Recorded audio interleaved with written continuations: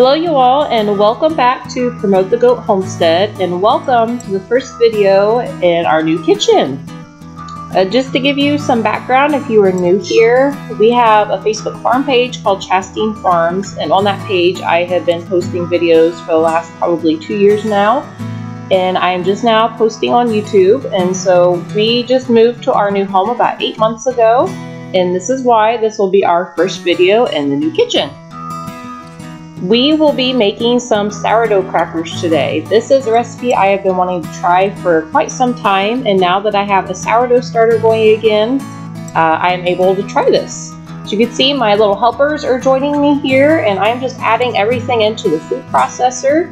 You do not have to have a food processor to try this recipe. You can easily do it by hand. I just find this to be less messy and it's faster. And I will make sure to leave the recipe down in the description for anybody that wants to try this. But I'm just going to be pulsing this until it forms a dough and then we'll be putting the dough onto the counter. You'll see that it is crumbly, um, but it does form together enough that it holds its shape and then we will just let it rest on the counter. And so here I am getting ready to put it onto the counter. And then I will be uh, putting this into a bowl and then I'll just be covering with a damp towel so it doesn't dry out and it'll just sit there for a couple hours, um, help it to ferment a little bit. And during that time, uh, we will head to the barn and we will be talking about some repairs that we are wanting to do this year.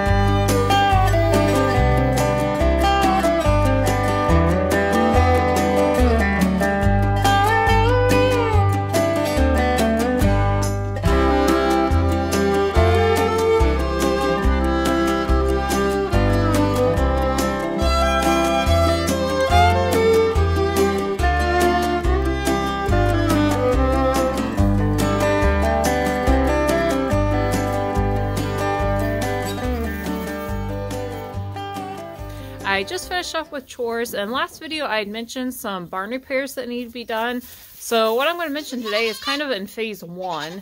And so in this column over here, oh, there, this wooden column here, you can see the bottom of the column has rotted out. There's quite the gap there. And so my husband and my dad actually put up these temporary um, posts here to help pull it up. We've got five of them. Um, but there's a column. This one's probably the worst one that there is that needs to be replaced, and there's others where the wood is starting to rot at the bottom. And so we have a crew that's going to be coming in. I don't know if it'll be next month or maybe in March. And they are going to take those columns and cut up high enough on the wood where the wood is still good. And then where the gaps are or where it's rotted, if I understand correctly, they're going to more or less create a form underneath the column and fill that in with concrete. And so um, that'll be fixed. And on the wall here, this is the east side of our barn. Um, let's go down here. The this because those columns it collapsed, it's more or less caused this wall to buckle, and so we have to get this wall fixed. So that crew's going to come in and do that. And then they're also going to, let's go over here by this big main door. Uh, to winterize this, because the wind, it'll make it extra drafty in the barn. We put up a tarp, and we had to do this last year as well, but the tarp is more or less only good for a season.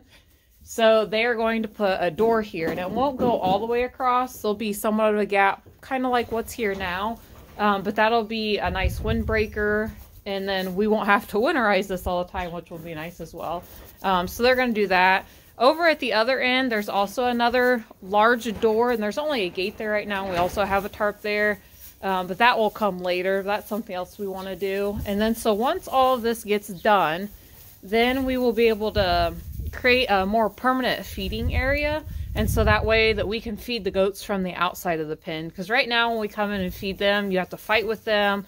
They put their feet in the trough. The, the goat kids will jump into the trough. And so it all, all in all, it will create less headaches when feeding them. And then it'll help with cleanliness as well. And then return cleanliness helps fight coccidiosis and parasites and just the general improves the health of the goat. Um, also on the outside, we want to add siding. Uh, the whole east side does not have siding on it. And then there's other parts of the barn where the screws are starting to pop out. The wind will get underneath the siding and it's more or less just, it's loosening the screws over time and then sheets of siding are coming off. So we want to put siding on it, but that'll probably be phase two, I'm guessing, um, when that happens. So these are all repairs that I'm looking forward to, especially getting the columns done so that we can um, set up a more permanent feeding area for the goats because that make my job easier. Um, so I thought I'd talk about that today. So that's something to look forward to. And uh, I guess we will go ahead and head to the house and we will finish our crackers. Now, I am going to be honest, this recipe is a bit of a labor of love.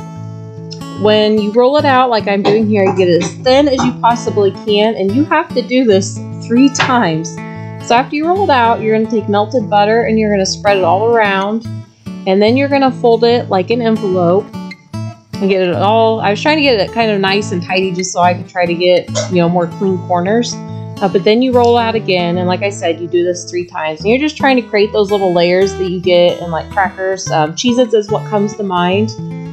And I think if I were to do this recipe again, which I do want to try it, I want to try it with a pasta roller. When I was doing it, I thought there has to be an easier way to do it because my arms got tired.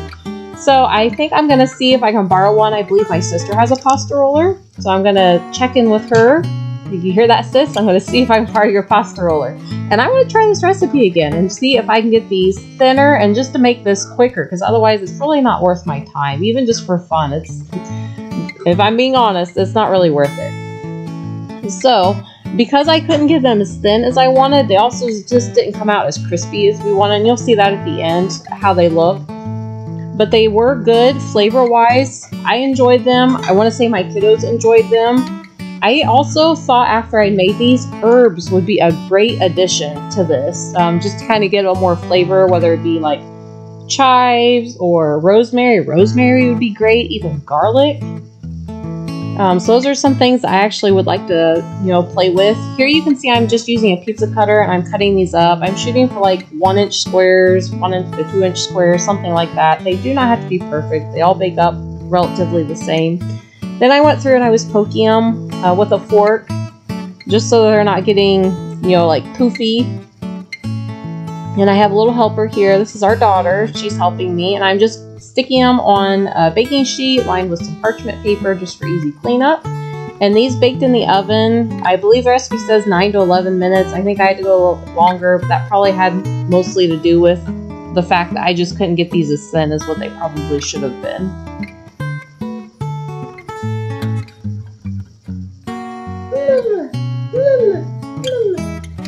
And here you can see them uh, on the baking tray before they went in the oven.